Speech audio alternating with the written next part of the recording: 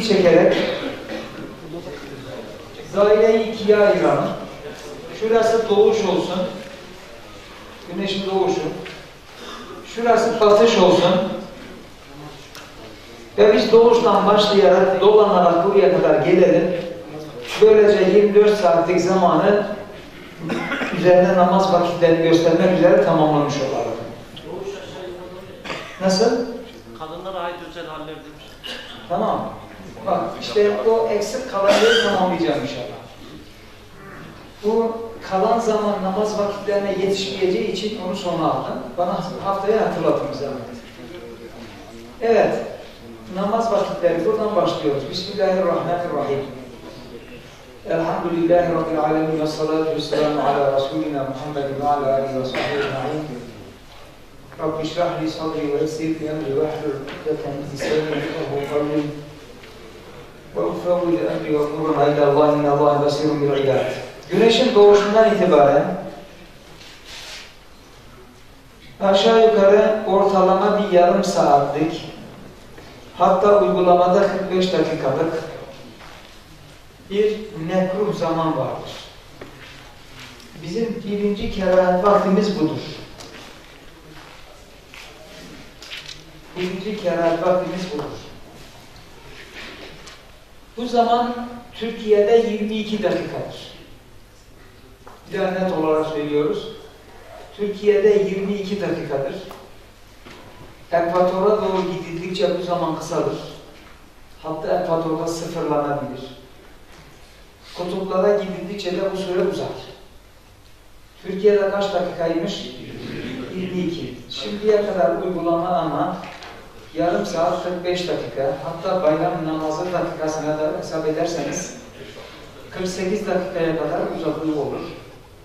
Kısacası 22 dakikadan itibaren hemen hemen 50 dakikaya, belki bir saate kadarki zaman yani o 22 dakika güneşin doğuşundan 22. dakikaya kadarki zaman kerahat vakti. Birinci kerahat vakti. Aslında güneşin doğduğunu gösteren dakikada güneş doğmaz. Ona da dikkat edelim. Diyelim ki bugün için kaçı gösteriyordu? 6 20 şey 6 55. Tam 6.55'te doğmaz güneş. O arada bir ihtiyat payı koyuyorlar. Birkaç dakikalık ihtiyat payı var. Hatta Sonra mı? evet 7-8 dakikaya kadar uzayan bir ihtiyat payı var o arada. Dolayısıyla 6.55'te uyandığımız zaman vakit geçti diyeceğiz hemen namazımızı kılabiliriz. Aynı ihtiyat payı güneş batarken de var. Mesela güneş kaçta, şey akşam kaçta okunuyor şimdi? 5 5-10 diyelim hadi. 5-10 aslında güneş 5-10'da batmış değil. 5-2'de 5-3'te filan batmıştır. O üç tehlikeye girmesin diye biraz geç gösteriyorlar. 3 dakikaya indirdim diye Diyanet şey yapmış. Ne zaman söyledi? Daha önce bir yazgın takvimi değiştirmiş. Biraz batışıyla doğuşu hariç hocam. Batışla doğuş hariç evet. Diğerlerini kaldırdılar. İhtiyat payını. Doğuş ve batış, batışta ihtiyat payı devam ediyor. bildiğim kadarıyla. Dolayısıyla oruçlu insan 2-3 dakika önce ya farkında olmadan orucunu açtıysa o oruca tamam diyeceğiz. Çünkü daha önceden güneş e, batmıştır. Evet. Şimdi bu kerahat vakti olsun, diğerleri olsun. Biliyorsunuz bizim kitaplarda, ilmi hallerde eskiden saatler çok olmadığı için, dakikalar o kadar işte herkes de yaygın ve hesap edilecek durumda olmadığı için alametlere bağlanmış biliyorsunuz. Kerahat vaktinin de alametini şöyle anlatıyor kitaplar. Hepimiz beraber bir yapalım. Alamet. Diyelim ki elimizde saat yok. Ondan sonra kendimiz güneşe bakarak tespit edeceğiz. Bu durumda doğu tarafa bakıyoruz. Doğu tarafa. Çenemizi göğsümüze yapıştıracağız. Yapıştırın bakalım. Herkes yapıştırsın. Tam yapışıkken mümkün olduğu kadar gözümüzü yukarı bakalım. Yukarıya doğru. Güneşe doğru bu şekilde bakınca güneş göğüs çizgimizin üstüne çıktıysa yani güneşi göremiyorsak kerahat vakti çıkmıştır demektir. Nasılmış ölçüm? Yapıştırdık. Yukarıya baktık. Güneşi göremiyoruz. Çizginin üstüne çıkmış. Kerahat vakti gitmiştir. Evet. Ama güneşi hala görüyorsak bu demektir ki kerahat noktasını kurtarmamıştır demektir. Tamam mı? Şimdi bu kerahat vakti kırmızıyla çizdiğimiz kim nasıl iki tane çizeceğiz. Kerahat vakitleri hem farz hem nafileler için geçerlidir. Yani bütün namazlar için geçerlidir. Dolayısıyla bu kerahat vaktinde farz, nafile, vacip, tilavet secdesi, cenaze namazı, şükür secdesi hiçbir şey yapılmaz. Hiçbir şey yapılmaz. Ancak nafile ile farz arasında şöyle bir fark var. Tane tane söyleyeyim ki not alan arkadaşlar yetiştirsinler diye. Nafile ile farz arasında şöyle bir fark var. Nafile için kitaplarımız der ki münakit, münakit olur. Farz için münakit olmazdır. Münakit olmaz. Ne demek? Farz kıldıysan meydana gelmemiştir.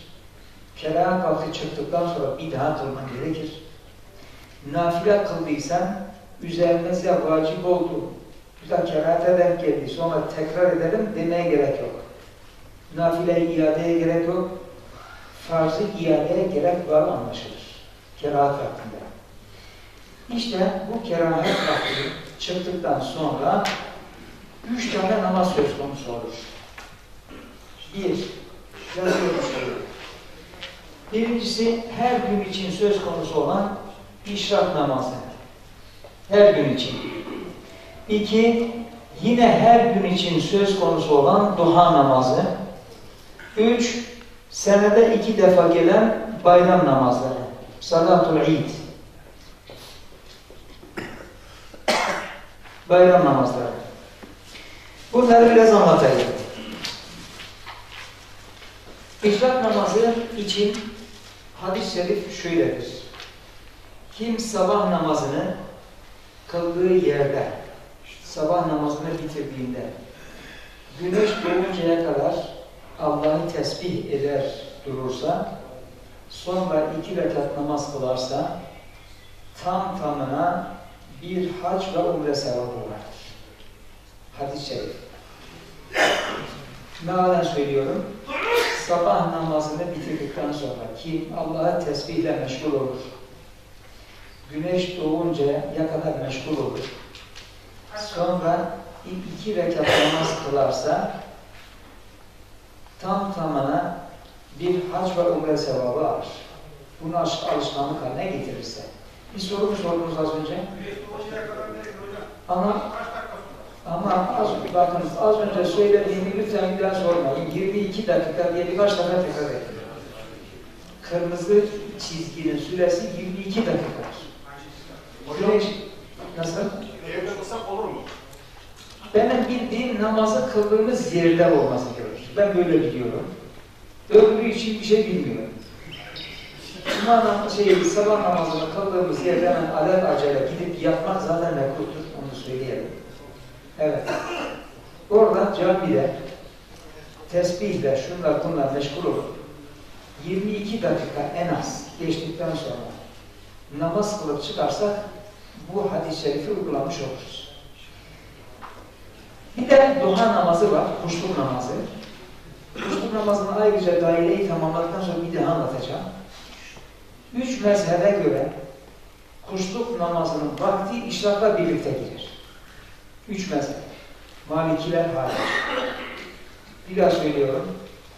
Kuşluk namazının vakti üç mezhebe göre işrakla beraber girer ama şu notu, şu kaydı koyarlar. Üç mezhep. Derler ki vakti her ne zaman şimdi giriyor ise de şurada giriyor ise de eftar vakti ileriki saatlerdir.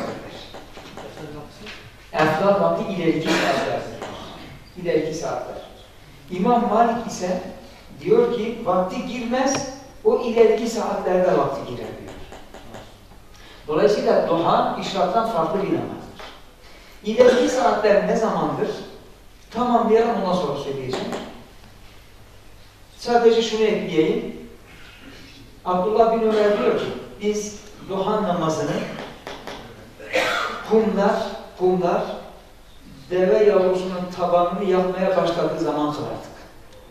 Öyle olunca 22 dakika sonra kum yapmaz tabanı.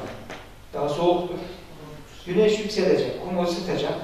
Deve yavrusu da basmaz olacak ki duhanın vakti üç mezhep niye öyle söylüyor peki hocam? Eftar vakti diyor işte. Eftar vakit olarak alıyorlar.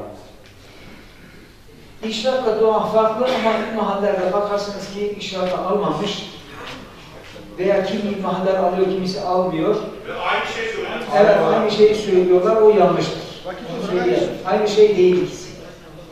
İkisi aynı şey değil, onu anlatmaya çalışıyor. İki tane hadis söyledim ki farkını şey yapalım diye. Biri Abdullah bin Ömer'in rivayeti ve İmam Malik'in özellikle net koyduğu üç mezhebin de ehram vakit dedikleri şey ki ayrı şeylerdir. Farklı şeyler. Bu arada ilk senede iki defa bayram namazı geliyor biliyorsunuz.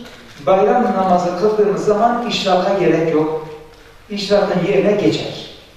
Bayram namazı demek ki işrakın yerine geçiyormuş.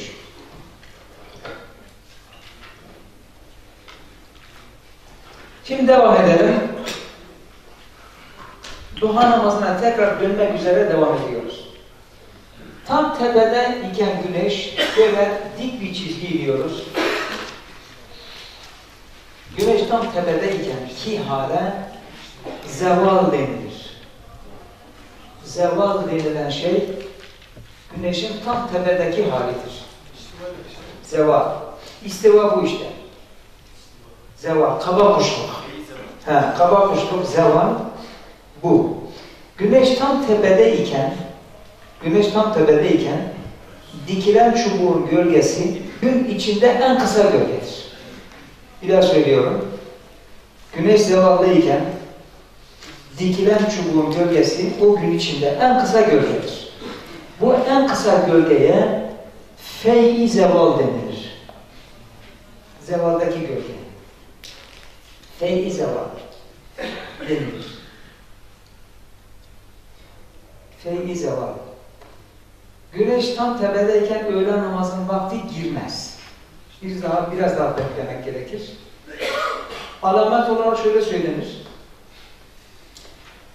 Güneşe doğru bakıyoruz. Burnumuza doğru denk geliyorsa güneş zevalda demektir. Sağ gözümüze doğru kayırsa öğlen vakti girmiştir demektir.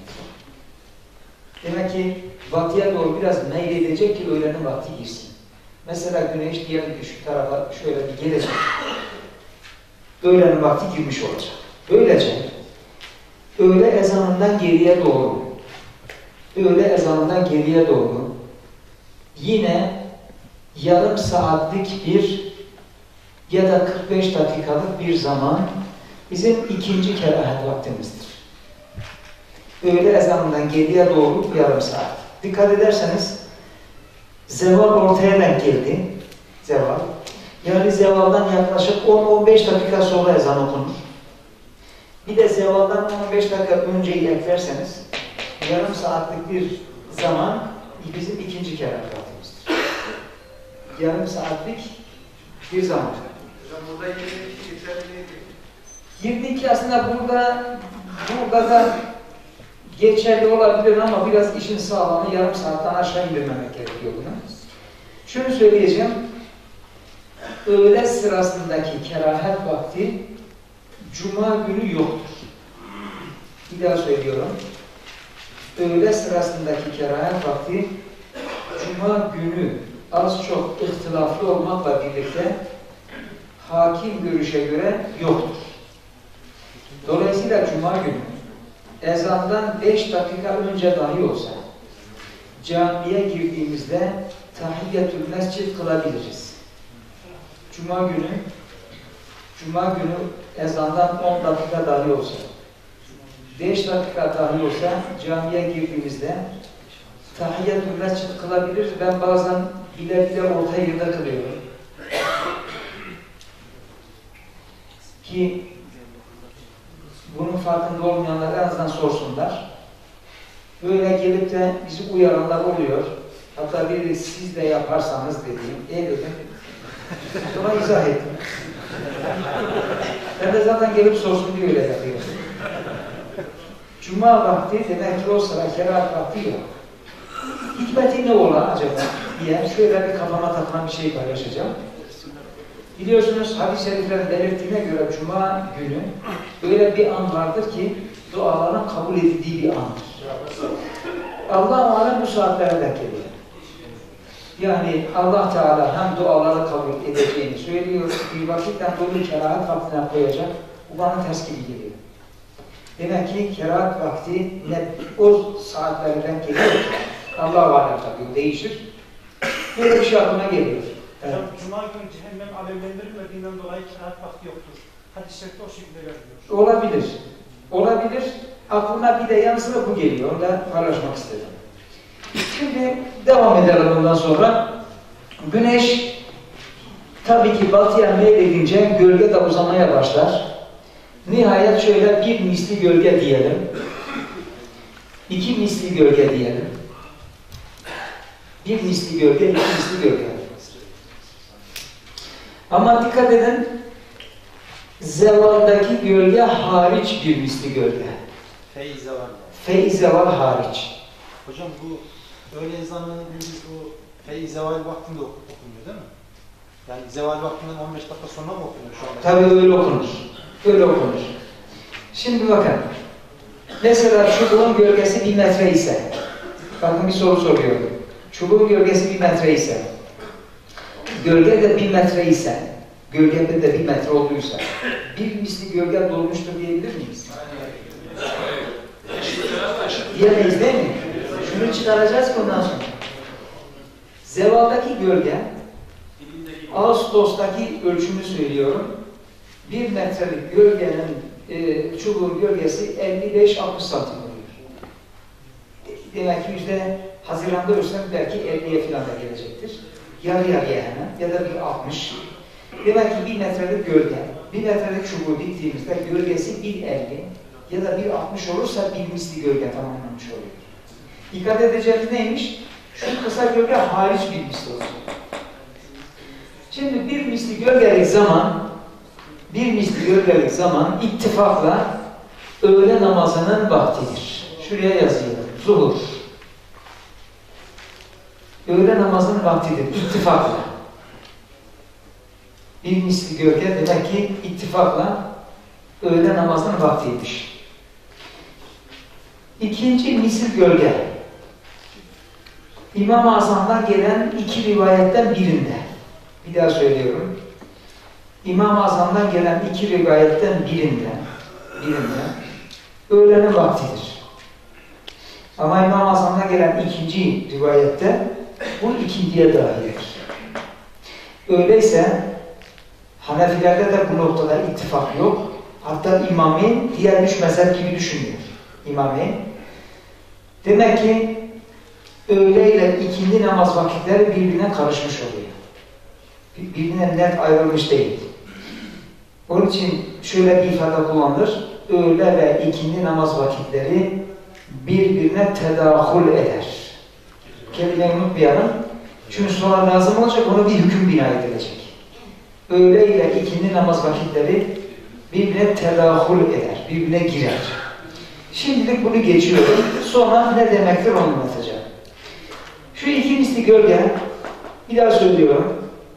İmam-ı Azam'dan gelen bir görüş, artı İmameyn'in tek görüşü, artı diğer mezheplerin görüşüne göre ikindinin vaktidir. İkindinin vaktidir. Ha, bir daha söylüyorum. İmam-ı Azam'dan gelen bir görüş. İmameyn'in tek görüş ve üç mezhebin görüşüne göre iki misli gölge ikindinin vaktidir. Fakat ister ikindi burada bitsin, ister bir misli gölgede bitsin, ister iki misli gölgede bitsin, daha başka zaman şeye girmeden, araya başka şey girmeden ikindinin vakti girer. Dolayısıyla şu arada, şu arada ihtilaflı bir vakit var. İhtilaflı bir vakit meydana geliyor. Öyleyse öğle namazını geciktirmemek, ikindiyle hemen acele etmemek daha uygun oluyor. Bu duruma göre. Öğle namazını erken kılmak, kılmak, bir misli gölge bitmeden kılmak, ikindiyle iki misli gölge tamamlandıktan sonra kılmak. Asr-ı sani diye buna söyleniyor zaten.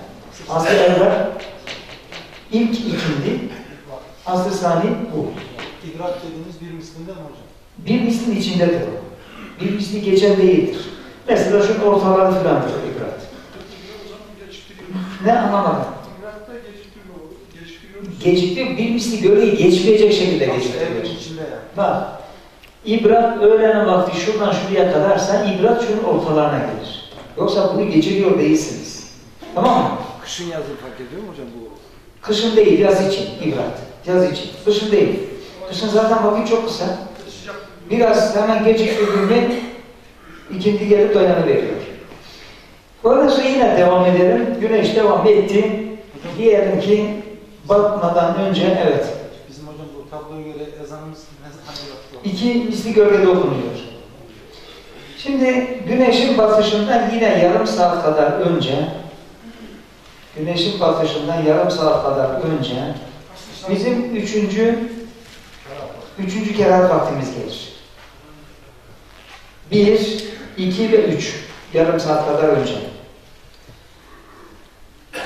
Üçüncü kerahat vaktimiz. Buraya da şöyle bir yarım saat 45 dakika diyelim şöyle. Burada da yine hiçbir namaz kılınmaz. Kırmızılarla işaretlediğimizde hiçbir namaz kılınmaz. Şimdi çekmeyin, hele bir bitsin ondan sonra. Daha çok işleyeceğiz bunu. Üçüncü kerahat vaktinde sadece o günün ikindi namazı kılınmamışsa kılınır. Başka namaz yoktur. Hocam bu ikindi namazla, Ne? ikindi namazla alakalı e, son kaç dakikaya kadar kılmak? Bakın bakın bakın bunun dakikası yok. O günün ikindisinin dakikası yok. Kılınmadıysa kılınır. Başka namaz yok ama. Sabahtaki hocam. Arkadaşlar şimdi kendinizin hemen halledeceğiniz soruları sormayın. Tabii ki sünneti kılmayacaksın. Şimdi bu şekilde gündüzü tekrar dönmek üzere geçiyoruz. Geceye geçtik. Gece. Güneş battıktan sonra yaklaşık bir saat bakın hep yaklaşık diyorum. Bir saat kızıllık olur. Güneş battıktan sonra yaklaşık bir saat bir kızıllık olur. Ondan sonra yaklaşık, hep yaklaşık diyorum dikkat edin, yarım saatlik bir beyazlık olur. Beyazlık olur. Bir saatlik bir kızıllık, yarım saatlik bir beyazlık olur. Arkadan görünüyor mu? En arkadakiler görüyor musunuz? Öne doğru gelin. Önde yer bulunur. Yazılar e ne yapalım şimdi tahtamız bu kadar. Ne? Benim yaptığım var ama anlatmadan da olmaz bu işte. Orada dakika belirtilmiyor ama. Sadece 45 dakika olarak verdim hocam. İşte İşte ona ba- baktım, dakika pek açık değil. Tamam. Ben o zaman sizden bir sonradan konuşalım bunu bana hatırlatın. Şimdi şu arayı bırakıyoruz, tekrar bu tarafa geliyoruz. Bu tarafa geliyoruz. Güneşin doğuşundan, doğuşundan yaklaşık bir saat kadar önce ufukta bir, bir saatlik kızıllık olur. Güneşin doğuşundan yaklaşık bir saat kadar önce kızıllık başlar. Şöyle ufku kaplayan bir kızıllık başlar enlemesine. Yine ondan yaklaşık yine yarım saat kadar önce bir beyazlık vardır. Beyazlık vardır. Yine ondan yarım saat kadar önce yani güneşin doğuşuna iki saat kala iki saat kala yaklaşık diyor bakınız. Doğu tarafta kuyruk gibi bir beyazlık sarkar aşağıya biraz sonra kaybolur. Kuyruk gibi aşağıya doğru sarkıyor sonra kayboluyor. İşte buna el fecrul kazib denir. Yalancı fecir. Yalancı. Bir daha söylüyorum. Güneşin doğuşuna iki saat kala yaklaşık kuyruk gibi bir beyazlık aşağıya sarkar sonra kaybolur.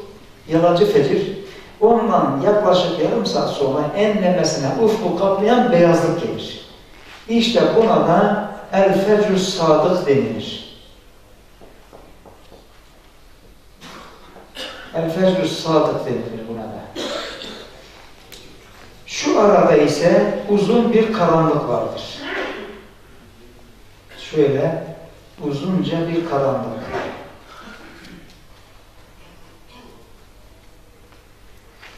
Uzunca bir karanlık. Şimdi ortadan geceyi şöyle bir bölüme katlayın üst üste. Gecenin simetrik olduğunu göreceksiniz. Güneşin doğuşundan batışını katlayın. Renkler olarak simetrik olduğunu göreceksiniz. Fecr kazipte karanlıktan sayıyoruz tabii. Tabii karanlıktır o. Hocam imsak fecr sabıkla. Anlatacağım. Şimdi hepsini anlatacağım.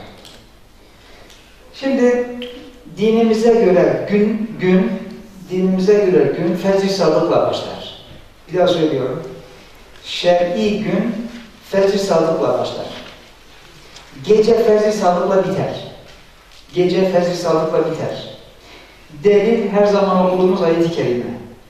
Selamun hiye hatta matla'il fecr. O gece fecrin doğuşuna kadardır.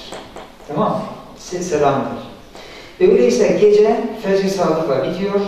Ne başlayacak bu sefer? Gündüz.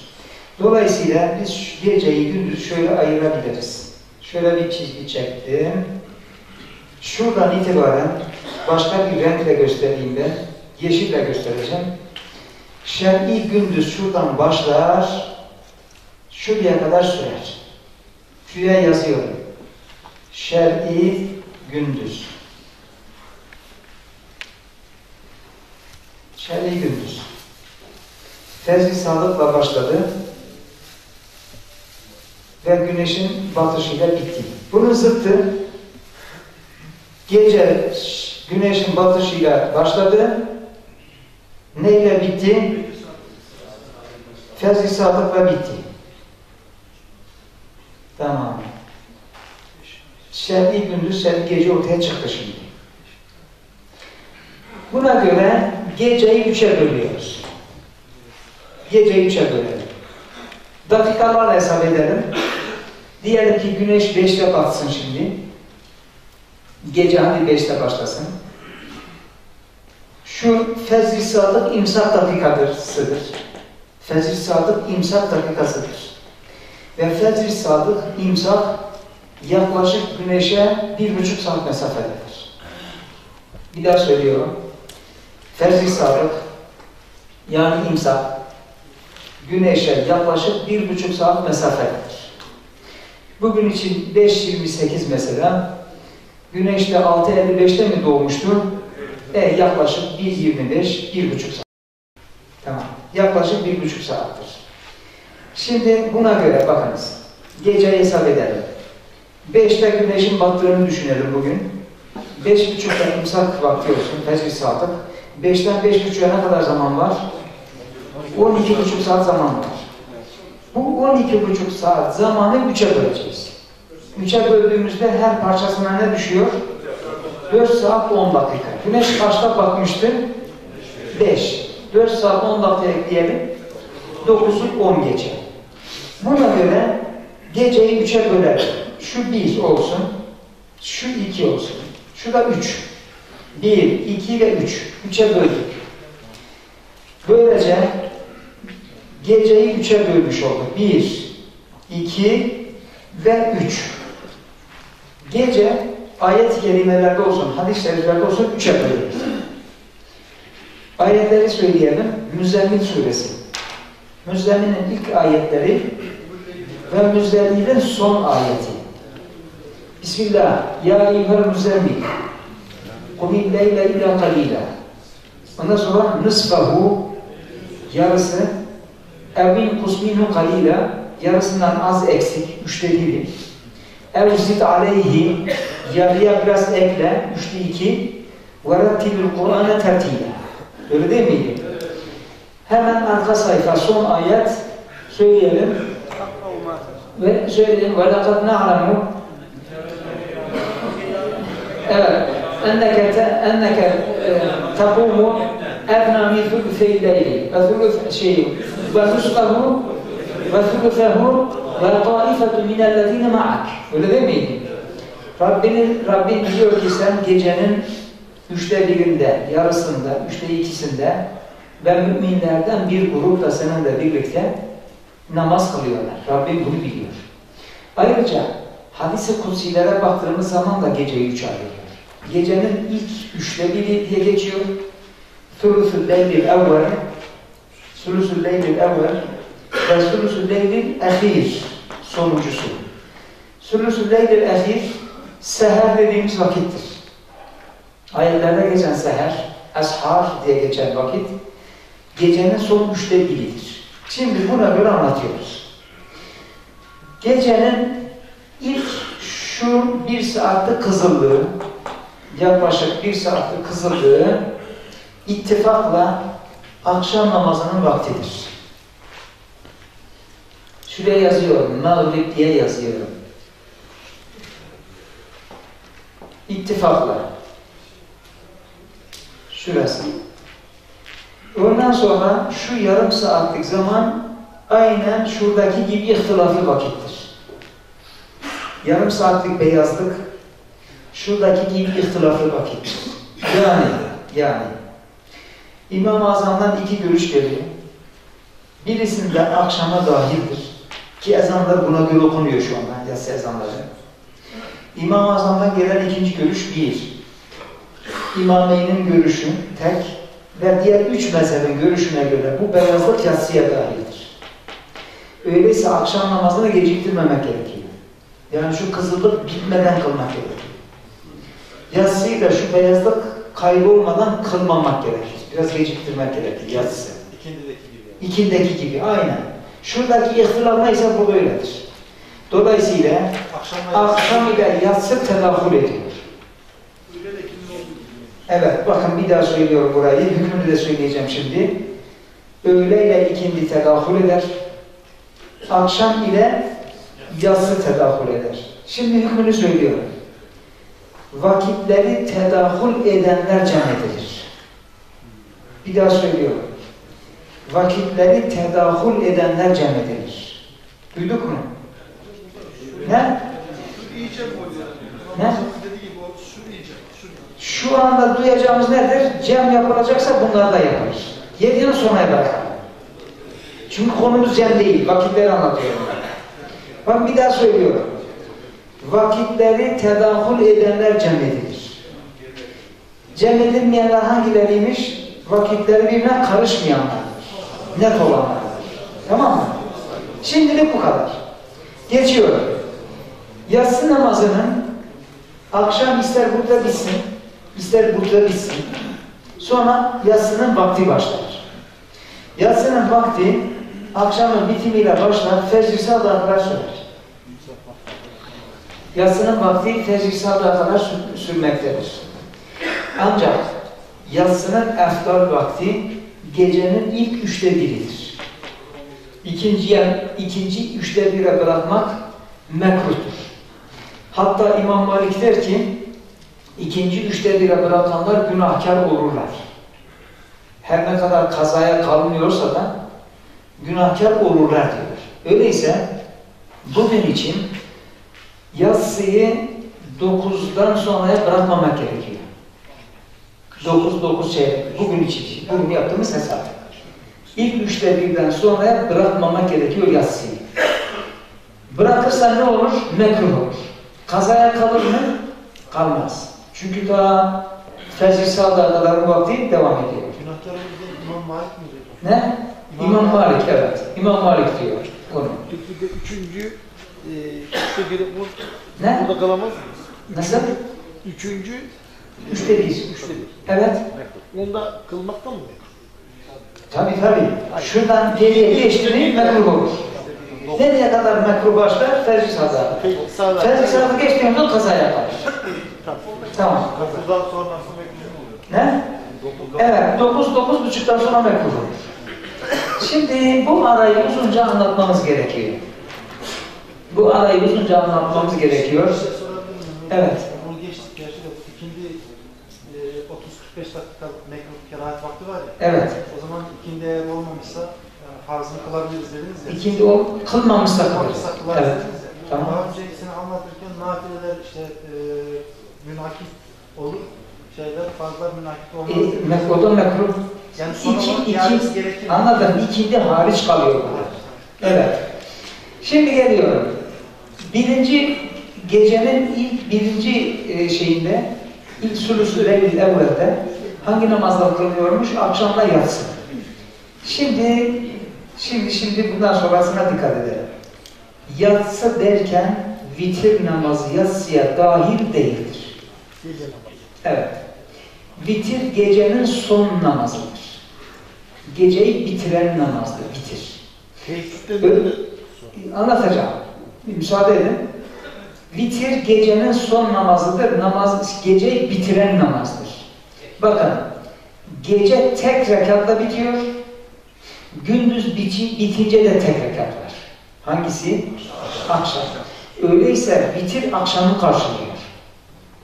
Vitir namazı akşamı karşılıyor. Namazdan birbirine simetrik olan tarafları da var. Onları da anlatacağım şimdi. Vitir namazını demek ki artık bundan sonra kılmayalım. E, cemaatin önündeyiz ne yapacağız? Yatsı namazının inşallah nafilelerde anlatacağım. Son sünnetini dörde çıkarırsanız, biraz da ağırdan alırsanız denk gelir. Kaldı ki cemaat da farkına varsa izah edin. Burada ayıp diye bir şey yok. Bilmesi gerekir. Vitir namazı ne zaman kılınır? Bakınız. Hadis-i şeriflerde diyor ki Vitir namazı yatacağımız zaman şöyle bir bakacağız. Seherde kalkabileceksek kılmadan yatacağız. Kılmadan yatacağız. Seherde kalkamayacaksak yatmadan önce kılıyoruz. Öyleyse vitir ya yatmadan önce kılınacak ya da seherde kılınacaktır. İkisinden birisi. Yatsıya bitişik vitir yoktur. Peki niçin bize kıldırdılar? Onu söyleyelim. Herhalde geçmişte toplumun önderleri, hocalar baktılar ki Müslüman bir yattı mı bir daha kalkamıyor. En iyisi bitir araya girmesin, tek yatsıya bir kişi kıl demişler. O da öyle adet olmuş. Yoksa, yoksa bitir yatsıya bitişik değil. En azından şundan hesap alın. Ramazan'da bitiri teravihten önce mi kılıyorsunuz sonra? İşte sonra kılıyoruz. Niye? Çünkü yatsıyla ilgisi yok bitirin. Niye cemaat? Onu ayrıca anlatacağım. O başka bir mesele. Hatta bugün anlatacağım onu. O zaman altı gün üzerinde uygulamak yok. Nasıl? Yok. Bitir, bitir daima ya yatmadan öncedir ya teheccüden sonradır. Daima böyle. Ben başka hiçbir uygulama hatırlamıyorum. Yok yani. Hocam şu yatsıyı birinci gecede kılmak ya. Evet. İkincisi de kılmak. Birinci de kılmak olan Evet. şeyi de e, vitri de birinci gecede kılmak yine Hayır. Bitir gecenin sonudur. Yani mekruh mudur önce kılmak? Mekruh diye geçmez tabi de azabı budur. En azından hilaf-ı evladır öyle diyebiliriz. Efal mükellefini gördük. Ne zaman süreyi? Anlamadım. Bütün namazda ne zaman sonra Ne zaman kılınır mı? Tarih, tarihini bilmiyorum. Müslümanların kalas gibi yapma tarihi bilmediğim için onu bilmiyorum. Evet, devam ediyorum şimdi. Ben mahallemizde imam olmadığı zaman imamlık bize kalıyor. Cemaatin önünde ben böyle yapıyorum. Zaten de biliyorlar. Yıllardır öyle yapıyorum çünkü. Alıştırdık, kimse de laf etmiyor, edemiyorlar herhalde edemiyorlar da. Ettiler zaman da izah ediyoruz. İzah edemiyoruz, ediyoruz. Doğrusu budur yani, cemaate alıştıralım. Tabii ki geceleri değerlendirmek kaydıyla bunu yapacağız. Biz de kalas gibi yatıyorsak sabahlara tabii ki bitirip kalacağız demek. Gecenin ikinci üçte birine gelelim. Gecenin ikinci üçte biri dinimiz diyor ki mecburen yatacaksın. Dokuz buçukta yatak olmayacak. Vay babam vay öyle mi? gece saat 1'de yat. 12 Müslüman ne yapıyor? Gecenin üçte ikisini tamamlıyor. Şurada bir yatıyor, şurada uyanıyor. Bu Müslümanın programı değil bu. Kamu hizmeti gibi yaygın bir hizmet yoksa, bu kayıtta var kitaplarımızda. Kamu hizmeti görenler dışında gecenin üçte birinden sonra uyanık kalmak mekruhtur. Evet mekruhtur. Gecenin ikinci üçte biri dinimizin mecburen yat emri verdiği saatlerdir. Bu da yattık. yat. Yani saat dokuz buçuktan bir buçuğa kadar yattık. Dokuz buçuktan bir buçuğa kadar yattık. İzinler ne, ne zaman var ben onu ilgilendirmez o. Ben şimdi Arkadaşlar anlatacağım çok şey var. Bugün bir sıkıştıralım, bir az konuşalım. Sonra da sonraya bırakın. Kamu hizmeti diye- diyelim ki bekçilikti, hasta bakıcılıktı, efendim nöbetçilikti vesaire, şuydu buydu, onun gibi. Bundan yat. Son üçte bir olunca, işte orayı biraz uzun anlatmamız lazım. Son üçte bir. Son üçte birin adı biliyorsunuz seher vaktidir. Ve Kur'an-ı Kerim'de ashar ve sahar diye geçiyor. Vel mustağfirine bil ashar ve fil ashari hum yestağfirun filan diye geçiyor. Bakın şimdi seher kelimesini yazıyorum şuraya. Sin, ha ve ra'dan oluyor. Öyle mi? Bir de sihir kelimesini yazıyorum. Sihir. O da aynı. Bir de sahur kelimesini yazıyorum. Sahur. Harfler birbirine benziyor mu? Benziyor. Öyleyse seher vakti sihirli vakittir. Seher vakti büyüleyici vakittir. Niçin? Bunu anlatıyorum şimdi. Seher vakti büyüleyici vakittir. Çünkü o vakitlerde riya yapacağın kimse yok. Namaz kılıyorsan riyasız bir namazdır. Dolayısıyla ışıklar falan yanmadan kılacağız. Gelip geçenlere ilan etmeyeceğiz. Karanlıkta kalacağız. Efendim karanlıkta mekruhmuş. Niye mekruhmuş? Yeri göreceğiz. Eskiden eskiden yerde, çadırda, köy evinde kılarlardı. Alnının denk geldiği yerde arı olabilirdi, akrep olabilirdi. Ondan dolayı demişler. E şimdi apartmanlarda böyle bir şey yok. Öyleyse ışıklar sönecek. Zaten Peygamberimiz kıldığı zamanda da elektrik yoktu biliyorsunuz. Gece namazı. gece namazı Anlamadım, anlamadım. yani Gerek var mı? Gerek yok değil mi? Gerek yok şimdi. Şimdi gerek yok. Geçiyor. Müsaade edin. Şöyle az konuşursanız bir buçuk, 90 dakikada anlatabilirim. Değilse iki buçuk saatlik olur. He, müsaade edin. Seherlerdeki istiğfar hem Kur'an-ı Kerim'de az önce okuduğum ayetteki hem de Peygamberimiz Aleyhisselatü Vesselam'ın uygulamasında Peygamberimizin virdiydi, günlük virt. Günlük 70 ila 100 defa istiğfar getiriyor Peygamberimiz. Pe- Hadis-i geçiyor. Peygamberimizin zikirleriyle ilgili bir kitap alalım inşallah. Mesela Nevevi'nin eskarını alın piyasada. Okuyun, ezberleyin, uygulamaya çalışalım. Günde 70 ila 100 defa istiğfar. İstiğfar. Kur'an-ı Kerim'de de iki yerde hatırlıyorum. Bir Nuh suresinde, bir de Hud'da olacak. Bakın. Hatta bir de Yusuf suresinden örnek vereceğim. Hazreti Nuh suresini hatırlayın. فَقُلْ تُسْتَغْفِرُوا رَبَّكُمْ اِنَّهُ كَانَ غَفَّارًا Hatırladınız mı? Nuh Aleyhisselam biliyorsunuz 950 sene kavmini davet etmiştir. 950 sene ayette geçtiği için böyle rivayet falan değil. Ben Hazreti Nuh'a şaşıyorum gerçekten. İçimizde morali bozuk olan varsa çalışmalarda netice almadığı için Hazreti Nuh'a baksın. Sabırsızlanıyorsa Hazreti Nuh'a baksın. 950 seneye düşünebiliyor musunuz? Kaç kişi kaç kişi iman etmiş? Kimi kitaplarda 13 kişi diyor, kimilerde 84 kişi diyor. 83 kişi. Ortalamasını al, 25 sene bir kişi düşüyor. 25 sene uğraş, uğraş, uğraş bir kişi hatırla inanayım sana. Şimdi imamlık 25 sene. Düşün ki 25 sene imamlık yaptın. Bir tanesi sana güvendi. Bir kişi. İnsan patlar ya. He. He, evet. Şimdi bakın. Dolayısıyla morali bozuk olan, sabırsız olanlar Hazreti Nuh'a baksın diyor. Acayip bir şey ya. İnsan dayanamaz kısacası. Peygamber bir ancak dayanıyor herhalde ki. Şimdi diyor ki bakın sözlere dikkat edin. فَقُلْ تُسْتَغْفِرُوا رَبَّكُمْ إِنَّهُ كَانَ غَفَّارًا Ondan sonra bakın. يُرْسِلِ السَّمَاءَ عَلَيْكُمْ مِدْرَارًا Eğer istiğfarda bulunursanız gökten boşalırcasına yağmur indirir. Öyleyse yağmur duası öncesi cemaate tembih edeceğiz, seherde istiğfar getirin diyeceğiz. Kalkacak cemaat. Önce hazırlık var. Hazreti Ebu Bekir'in uygulamasıdır. İstiğfar, istiğfar. İnşallah vakit olur, duayı ayrıca anlatırım. Dua ayrı bir olay. Dua, dua öncesi istiğfar, seherde. İstiğfar çektireceğiz. Ondan sonra فَقُلْ تُسْتَغْفِرُوا رَبَّكُمْ مِنَّهُ غَفَّارٍ يُرْسِلَ السَّمَا عَلَيْكُمْ مِدْرَارًا وَيُمْدِدْكُمْ Size imdatta bulunur bir envalin. Malınıza bolluk verir. Kazancında bir kesaplık hisseden adam istiğfar.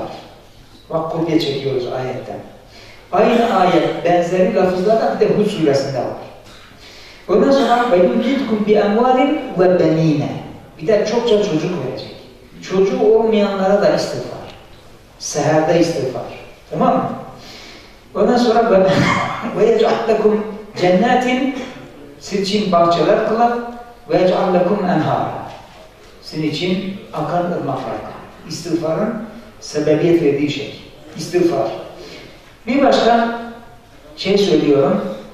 Yakup Aleyhisselam ve Yusuf Aleyhisselam kıssasında Hz. Yusuf'un kardeşleri yaptıkları oyun ortaya çıkınca geldiler babalarına dediler ki ey babamız bizim için Rabbimizden istiğfar dile dediler. Hatırlıyorsunuz. Hz. Yakup ne dedi? Sâufe estağfiru Rabbi. Size Rabbime sonra istiğfar edeceğim. Tefsirler diyor ki oğulları istiğfar istedikleri zaman ikindi vaktiydi. Yakup Aleyhisselam seheri beklemek için sevk dedi. İyi, etkili bir istiğfar olsun diye seheri bekledi diye yazıyor. Öyleyse istiğfar seherden uyandık, uyandık, kalkamadık, dilimiz estağfirullah, estağfirullah, estağfirullah desin. Bunu biz hocalar yapmayacağız, kim yapacağız? Yapacak. En başta bizim yapmamız gerekir. İstiğfar. Şimdi bunu söyledikten sonra şunu ekleyeyim. Hadis-i Kutsi'de diyor ki Allah Teala her gece gecenin son üçte biri olduğunda dünya semasına iner. Hadisi kutsi. Nasıl iner o ayrı bir konu. O zaten bizim de işimiz değil. İner. Ve kainata nida eder. Ve her min müstağfirin feğfira lehu. İstiğfar eden var mı ki yok mu ki mağfiret edeyim.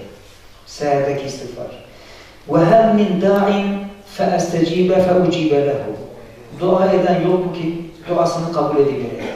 Hemen. Duasını kabul edivereyim. Şunu şunu isteyen yok mu ki verivereyim. O saatler. Niye? Riya yok. Riya yok. Bu ibadetin bir tane düşmanı var. Kitaplarda yazılı bir düşmanı var. Yazıyorum. Şurayı sileyim. Bir düşmanı yok. Ucub denilen bir şey, ucub. El ucubu yazıyorum şurada. El ucubu. Ucub insanın kendisini beğenmesi demektir. Yani diyelim ki kalktın, güzel güzel ibadet ediyorsun. Evde yatanlar var. İçinden dedi ki ya şunlara bak yatıyorlar. Ben ne güzel kalktım falan koyuyorum. Bu, o berbat eder. Bunu demeyeceksin. Kitaplarımızda derler ki şöyle bir tavsiyeler olur. Burada bir, şey olduğu zaman şöyle düşüneceksin. Demek ki onların ihtiyacı yok. Allah onları kaldırmadı. Benim ihtiyacım var, benim kaldırdı. Ben muhtacım gibi düşünün diyor. Bundan da insan kendini kurtardı mı zaten riya yok. Bu amelin değerini ancak Allah bilir. Gece ibadeti. Bir de namaz tarihçesini anlatacağım da söyleyeceğim. Efendimiz Aleyhisselatü Vesselam'ın üzerine teheccüd farz idi. Tarihçesini anlatırken söyleyeceğim, ümmete de önce farzdı. Sonra nafileye çevirdi.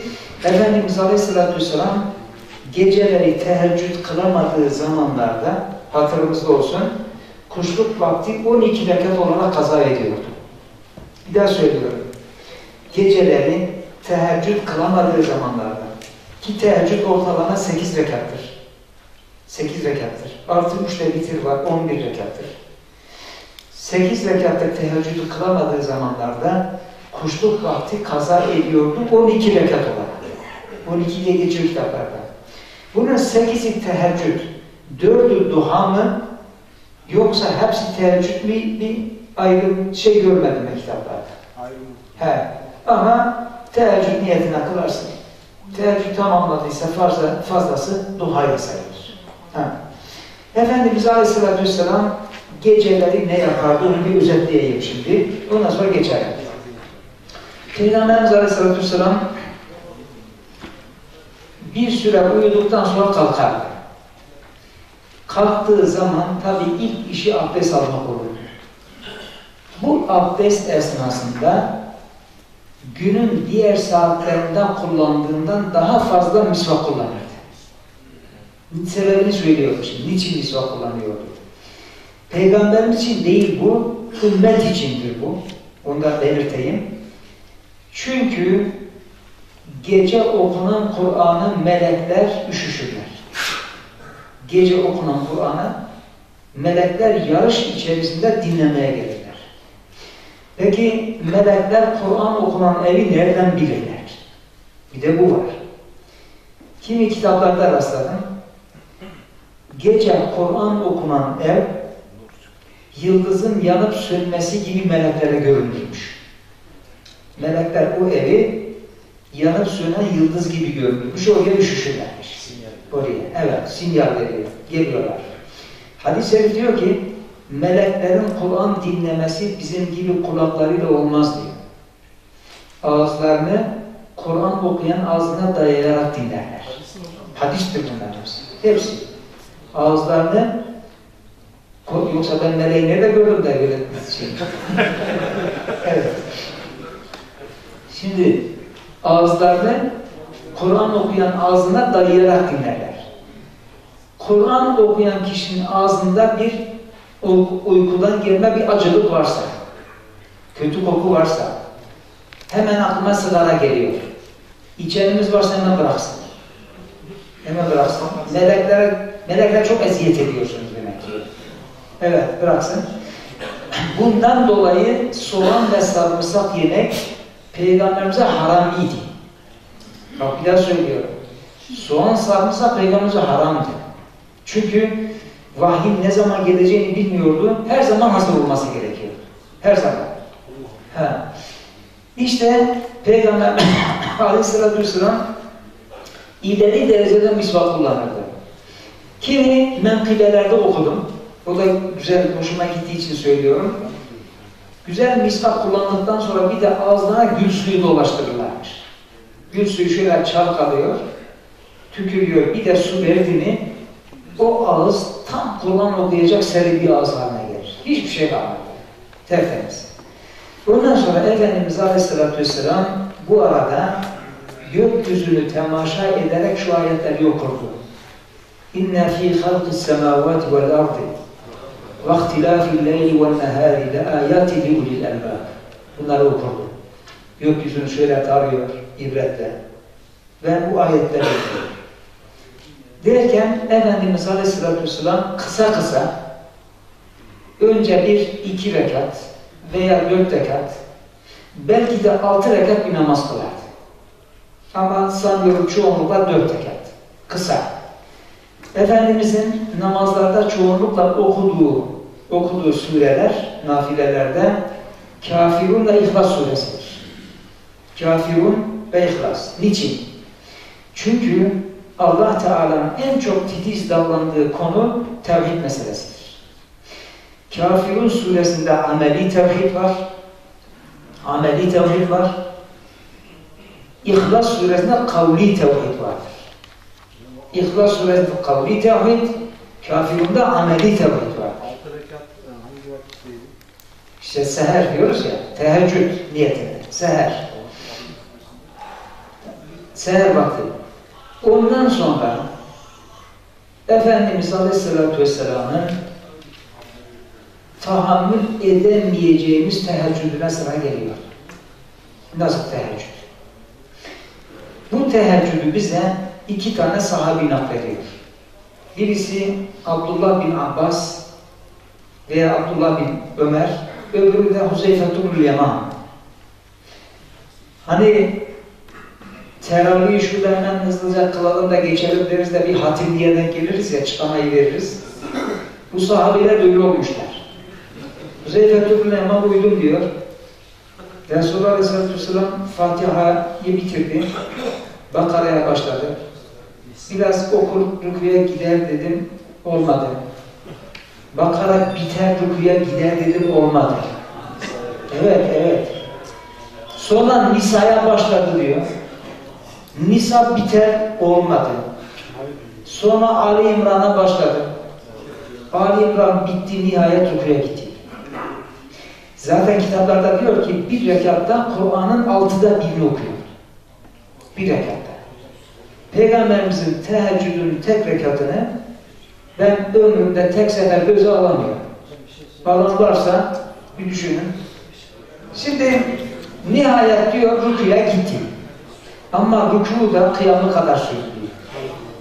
Rükudan doğulu kavmesi o kadar sürdü. Secdeye gittiğim o kadar sürdü. Secde. Celse öyle.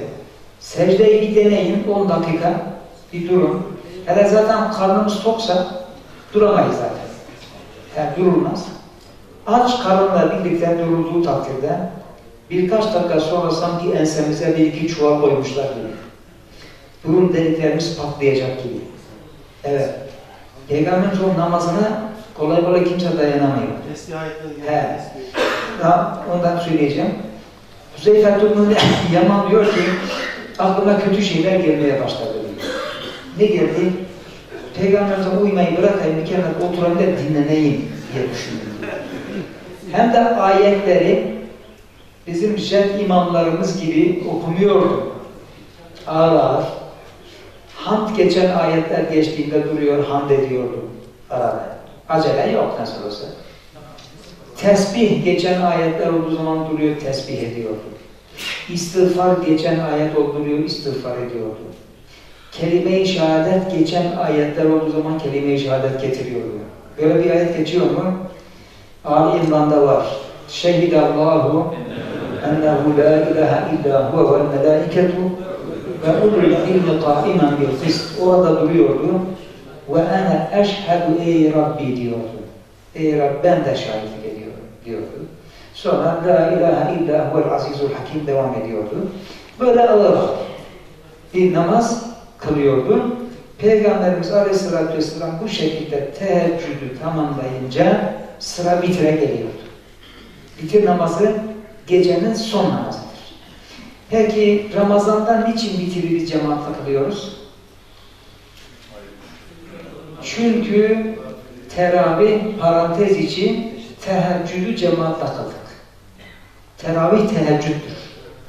Yani Allah Teala ümmeti Muhammed'e teravih adıyla ayda, yılda, şey, yılda bir ay teheccüd kılıyor. Anlaşıldı mı? Öyleyse Ramazan dışında, Ramazan dışında teheccüdü cemaatle kılacak olursak vitri de cemaatle kılmamız gerekir. Yani vitrin cemaatle kılınmasının sebebi teheccüdün cemaatle kılınmasıdır. Dolayısıyla bir adam diyelim ki evde teravih tek başına kıldı. Sonra gideyim camiye dedi. Camiye geldi ki vitire başlıyorlar. Aslında kaide olarak sen cemaate uyma denmez de teravih tek başına kıldığı için vitiri de tek başına kılması gerekir. Anladık mı? Vitir teheccüd. Teheccüde tabidir. İşte bu şekilde. Nasıl? Tersi de olabilir. Yani Tamam. Tersi de olabilir. Doğru. Bu şekilde tamamladıktan sonra Fecr-i Sadık geldi. Fecr-i Sadık. Bazen Peygamber Aleyhisselatü Vesselam vitiri bitirince bakıyordu ki Fecr-i Sadık doldu dolacak. Sabah namazının sünnetini de kılar. Sabahın da sünnetini kılar. Sonra bir miktar yer üzerine uzanırdı. Ondan sonra Bilal Habeşi namaza durma vakti gelince gelip peygamberi uyandırıyordu. Efendimiz de gidip namazı kıldırıyordu. Tamam mı? Bu şekilde. Gelelim şimdi sabah namazı. Sabah namazı yaklaşık bir buçuk saatlik bir zaman var. Ve dikkat ederseniz şunu da akşamdan sayarsak şuraya, akşam ile sabah namaz vakti birbirine eşittir. Sabah ile akşam namazı vakti birbirine eşittir. İkisi. Şimdi aynı vakit içinde yani mesela şimdi fecr sadık beş buçuk diyelim. Hadi bir 20 dakika, yarım saat geçsin. Saat 6 gibi duracak olursak ya da 6'ya 5 kala gibi duracak ya karanlık varken duracak olursak buna gades denilir. Şuraya yazıyorum. Gades. Ya da tağlis denilir. Hani hacılar, şafiiler sabah namazı diyorlar ya işte o gades o. Fakat ortalık aydınlanınca kılmaya, yani güneşe yarım saat kadar kılmaya aşağı yukarı buna da isfar denilir. İsfar. Şafiiler gadesi tercih etmişler. Eftaliyette. Hanefiler isfarı tercih etmişlerdir. Her ikisinde de Efendimiz Aleyhisselatü Vesselam namaz kılmıştır. Her ikisinde. Demek ki Şafiiler namaz vakti erken olmuyor. Aynı vaktin erkeninde oluyor. Hanefiler de yine aynı vaktin sonuna doğru kılmış oluyorlar. E, nasıl? Vakti İlk anlarında. ilk anları. Evet. Şöyle bir 20 dakika ya da en fazla yarım saat sonra kılınmaya garaz. Neyse böylece güneş doğdu diyelim. Tekrar devam ediyoruz. Dedik ki duha namazının vakti duha namazının vakti üç mezhebe göre eftar vakti ileriki saatler İmam Malik'e göre kesin ileriki saatlerdir. İleriki saatler nedir? Onu söylüyorum. Duha namazı ikindiye simetrik bir namazdır. İkindiye simetrik bir namazdır. Şöyle düşünün. İkindi ezan okunduğu zaman saat kaç? Diyelim ki iki buçuk. Akşam olduğu zaman saat kaç oluyor? Beş olsun. İki buçuktan beşe ne kadar zaman var? İki buçuk. Kaçta doğdu güneş? Ye yedi diyelim. İki buçuk saat ekle, dokuz buçuk. Böylece ikindiye simetrik olarak evet duhanın vakti hesap edilir. Şöyle ortalamasını alayım. Şu şekilde. İkisi birbirine eşit bir dik üçgen gibi düşünün. Duha namazı ikindiye simetrik bir namazdır. Duha namazı ikindiye simetrik bir namazdır. Eftar vakti. Orayı da yazın duha diye. Yazacağım, yazacağım. Bir yazdım da şurada duruyor da. Peki şuraya yazayım tekrar. Duha yazdım. Şimdi bakın. Şurada bir farz namaz var mı? Günün ortasında. Var. Şurada var mı? Var. Burada da var. Bir de ortada var mı şurada? Dolayısıyla şu ortada da bir namaz bekleniyor zaten. Zihinde bir boşluk meydana geliyor. İşte o boşluğu, ikinden kalan boşluğu duha namazı dolduruyor. Anlaşıldı mı? Nasıl ki teheccüd peygamberimize farz idiyse, duha namazda farz idi. Duha namazda farz idi. Dolayısıyla duayı da ihmal etmeyelim. Şimdi dua ile ilgili bir şey söyleyeceğim. Efendimiz Aleyhisselam diyor ki, insanın vücudunda 360 küsur eklem var. Her eklem bir sadaka ister. Kim günde 360 küsur sadaka veriyor içinizde? Birer lira versen bile 360 lira yapar. 360 fakirin neden olacaksın? Fakirden nimet olur. He. Efendimiz diyor ki, kuşluk vakti kılınan iki rekat namaz onu karşılar. Bakın bir daha söylüyorum. Hadis-i şerif, eklemlerin nimeti olarak 360 küsur sadakanın yerini kuşluk namazı kılınan iki rekat namaz dolduruyor. Bundan sonra bir vaazda dinlediğim bir cümleyi söyleyeceğim size. Vaizlerimizden bazen böyle güzel cümleler duyarız. Evet, bakın şimdi. Birinde dedi ki birisi, kuşluk namazını kılanlar ileride eklem ağrısı çekmezler. Eklemlerin sadakasını veriyor çünkü. İleride efendim ayağını uzatacaksın, bağdaş kurup namaz kılacaksın, ayağını dik tutacaksın, sandalyeye oturacaksın. Bunları yaşamazlar. Ben hoşuma gitti. Sadakası verilen eklem çünkü bunlar. Duha namazının neticesinde Allah'ın böyle bir ikramı olur diye düşünürüz. Şimdi tekrar bu tarafa doğru geliyoruz. Dedi ki ha bir de cuma namazının vaktini söyleyeyim şimdi. Cuma namazı. Cuma namazı Şafii ve Hanefilerde öğleyle aynıdır. Cuma namazının vakti Şafii ve Hanefilerde öğleyle aynı. Malikilere göre söylüyorum. Malikilerde zeval vakti başlar. Cuma'nın vakti zevalda başlar. Ta üçüncü kerat vaktine kadar devam eder. Bir daha söylüyorum.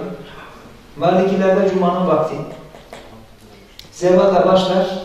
Üçüncü kerat vaktine kadar devam eder. Hatırlıyorsan Cuma günü kerat vakti yoktu. Öyleydi. Tamam.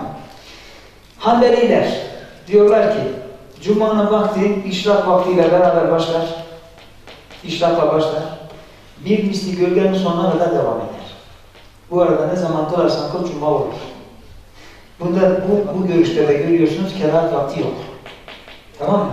Cuma namazında böyle söylüyoruz. Şimdi gelelim gelelim namazların cem'i meselesi. Ne demiştik? Evet. İsterseniz biraz bunu söyle bundan sonra. Malum her sene Ramazan'da. Onlara itibar etmeyin. Sahur vakti ortalama güneşin doğuşuna bir buçuk saat kala gider. Bunu kafanıza koyun yeter. Diğerlerine hiç itibar etmeyin. Hocam sahurda tepki vakti var mı? Bir, bir dakika. Şöyle bir anlatayım. Şimdi dedik ki namaz vakitleri tedavül edenler cem edilir dedik değil mi? Bu meseleyi de bu arada halledelim. Hanefilere göre cem sadece hacılar için Arafat ve Müzdelife'de vardır. Başka yok. Öyle değil mi? Onun için Hanefi mahallerde namazların cemi diye bir başlık olmaz. Şafiiler buna seferiliği de eklerler. Seferilik hallerinde namaz cem edilebilir. Maliki ve Hanbelilere gelince ister mukim ol, ister seferi, telaşlı bütün durumlarda cem yapılır. Bir daha söylüyorum. Maliki ve Hanbelilerden ister mukim ister seferi bütün telaşlı durumlarda cem yapılır. Hatta İmam Malik der ki vakti bilememe, vakti birbirine karıştırma durumu varsa cem yapar, yapmak caizdir.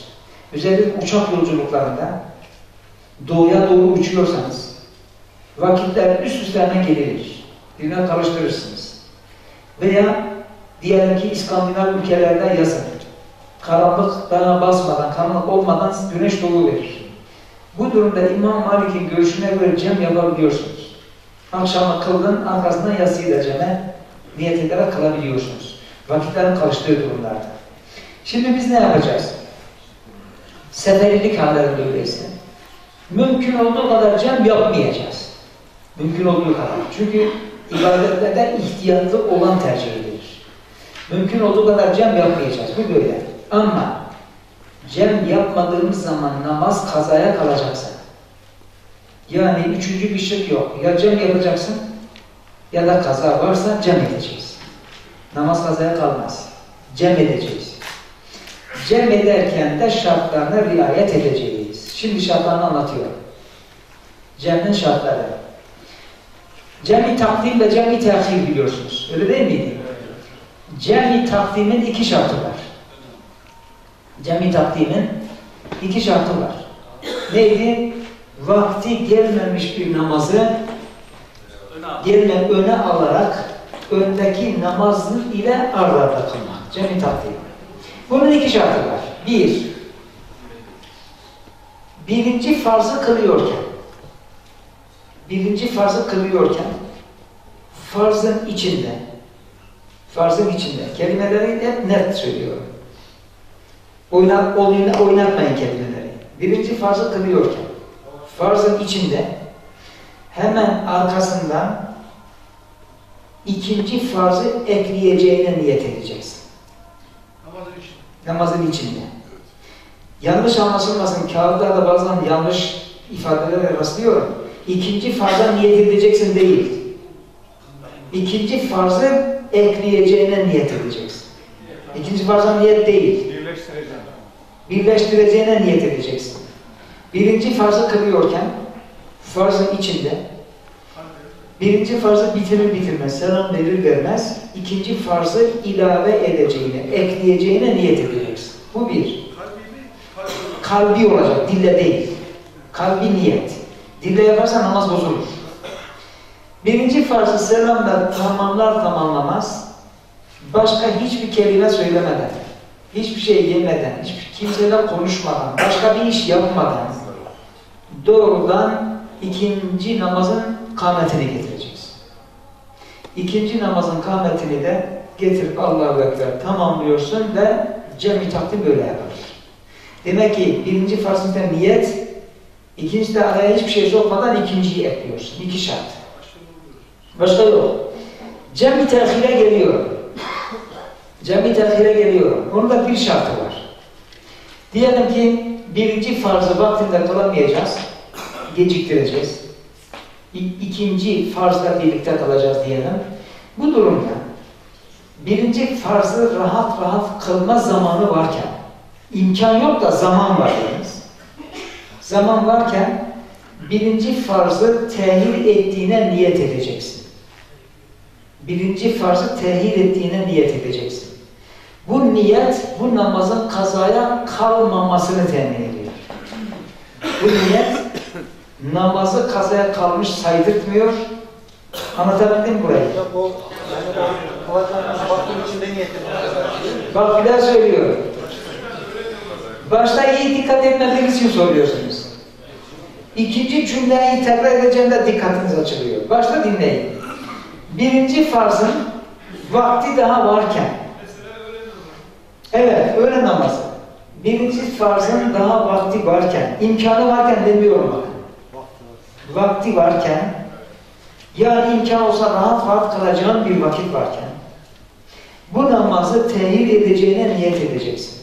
Eğer vaktin sonunda niyet edersen o kazaya kalır. Ortadan, başına bak bir daha söylüyorum. Rahat rahat kılacak kadar vakit varken. Tamam mı? Bak herhalde kaçıncı defa söyledim bunu? Bir daha söylüyorum. Birinci vakti rahat rahat kılacak kadar vakit varken bu vakti tehir ettiğimize niyet edeceğiz. Bu niyet neyi temin ediyormuş? Namazın kazaya kalmamasını temin ediyormuş. Ondan sonra rahat rahat devam ediyoruz. İkinci vakit gelir. Birinci farzı kılarız önce. Birinci farzı kıldıktan sonra hemen arkasından ikinciyi ekleme şartı yok bunda. Cem-i tehirde ekleme şartı yok. Arada yemek yersin, çay içersin, bilmem ne yaparsın, sonra vakti kılarsın ya da ekleyebilirsin. İşte bu iki şartla, cem-i tehirde iki şart, cem-i tehirde tek şartla cem yapabiliriz. Ne şartla? Namaz kazaya kalacaksa. Fardın arasına sünnet koymuyor. Ne? Yok. Arada cem-i takdimde arada sünnet yok. Takdimde. Tehirde var. Tehirde var. Evet. Tehirde var derken kılabilirsin demektir.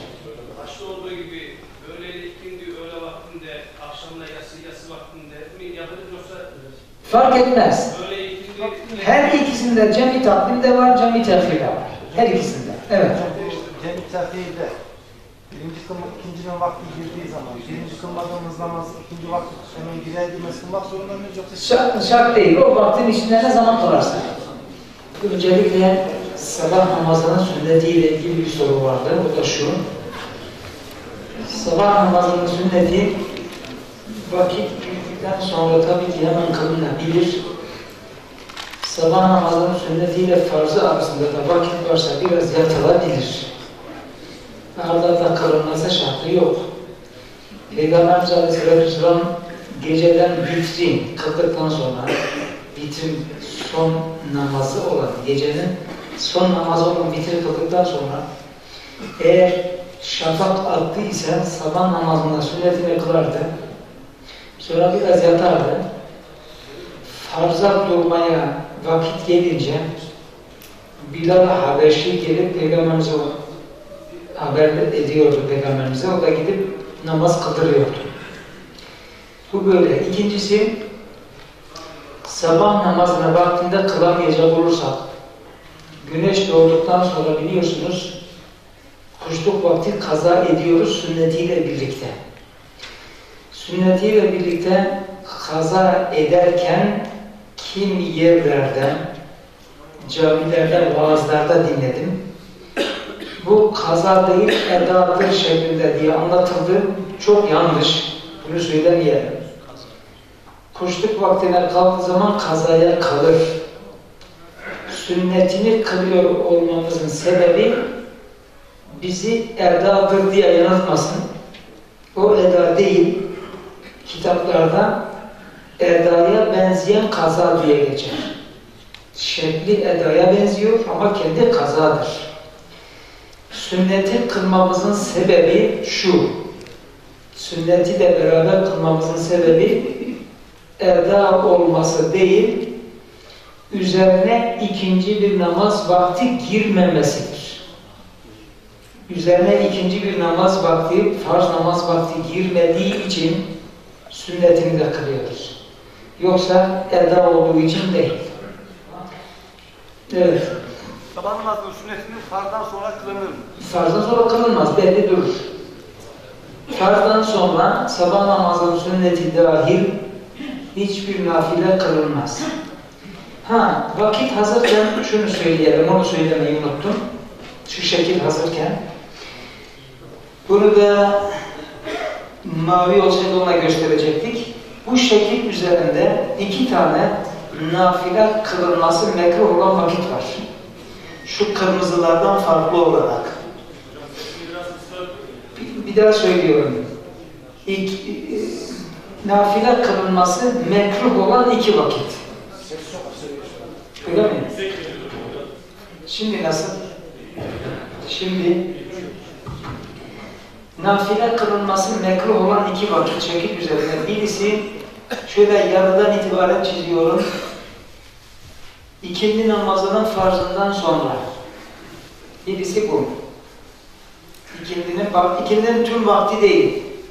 Farzından sonra. Öbürü sabah namazı tümden. Sabah namazı vakti tümden nafile kılınmaz. Bu da ikinci vaktimiz. Demek ki şekil üzerinde göstereceğimiz iki vakit var. Birisi ikindinin farzından sonra, öbürü sabah namazı tümden nafile kılmak caiz değil. Nafile nasıl? Farzlar kaza ediyoruz. Ama bak nafile diyor. Nafile kılınmaz deyince sizin sorunuzu sormaya gerek yok. farz namaz tabii ki kılınır, kılınması gerekir. Hangileri kılınmaz? Nafile dediklerimiz kılınmaz. O da nedir? Aklına geliyorsa odur. Beş vakit farzdan sonra hepsidir. Bayram namazlarının vakitlerinde de aynı şekilde namaz Kılınır ne kılınmasın? Camide kırılmaz diye bir Yok. Şu var, bayram namazı, şuraya yazdım zaten. Bayram namazı kıldığımız gün işrakı kılmaya gerek yok. Bu onun yerini tutar. Hepsi o kadar. Başka bir şey yok. Evet. Bu Diyanet Vakfı'nın olan İslam Ansiklopedisi'nin ilk olan birinci ciltinde 10 tane vakit sayılıyor hocam. Bekliyor vakit olarak. Nafile Hangileri söyleyin? Mesela hatırlayabildiklerimi söyleyeyim. Nasıl? Hatırlayabildiklerimi söyleyeyim. Arkadaşlar söyledi bayram namazları var. Tamam. Bayram namazlarından önce, bayram namazından sonra. Ya önce zaten kerahat vaktidir. Kılınmaz dedik Tamam, zaten. sayılmış matematik. Tamam. Akşam farzından önce mesela. Evet. eee, Cuma günü imam farz, e, Ama farza- bakın imam ben şu şekil üzerindekini söyledim. Konu nafileler değil. Onlar nafileler gelince anlatacağım. Şu gün içerisinde sadece gün içerisinde mekruh olan iki vakti söyledim. Yoksa mesela cuma vakti hutbe okunurken de caiz değil. Anlaşıldı mı? Evet başkan. Hocam bir gün Peygamber Efendimiz sabah namazını kıldırdıktan sonra sahabeden bir tanesi kalkıyor. Bir vakitte iki namaz olmaz diyor. Diyor ki sünnetini kılamadım tamam o zaman kıl diyor. Şimdi bazen Peygamberimiz Aleyhisselatü Vesselam kaide dışı özel tavsiyelerde ya da müsaade ettikleri olmuştur. Bu genel hükmün istisnası gibi düşünmeyecek. Yoksa onu da esas alırsan o zaman kitaplarda yazılı olan bütün şeyleri değiştirmen gerekir. Tamam mı? O bazen kişiye mahsup şey söyler. Bazen o kişi içinden gelmiştir ya da nezletmiştir, hadi yap demiştir. Ona mahsus. Evet. cemaate yetişmek için sünnet kılanmışsa şu sadece sünnet kalır.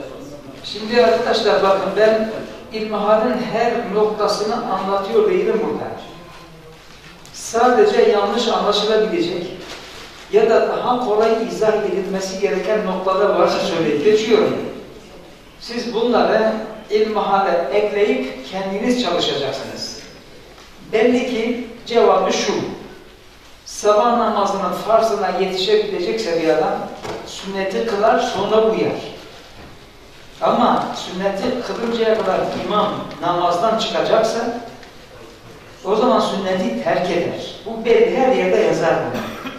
Bundan çıkaracağımız sonuç şu. Bu soruyu ilave şunu yapabiliriz. Sabah namazının sünneti en kuvvetli nafilelerden birisidir. Hatta İmam-ı Azam vaciptir diyor. Onu söylemiştim. Vaciptir diyor. Sünnet demiyor. Buna rağmen sünnet vacip arası güçlü olan bir namaz bile sabah namazının ce cemaatine yetişmek için terk ediliyor. Demek ki cemaate uymak bundan daha güçlü bir sünnettir. Böylece namaz vakitleri tamamlandı. Eksik